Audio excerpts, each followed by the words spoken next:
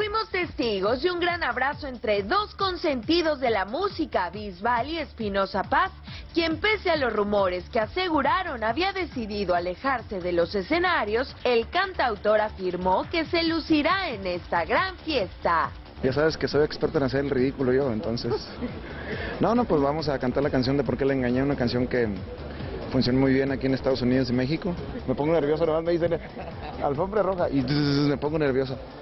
Eh, no sé, la verdad. Yo creo que no sé. Probablemente.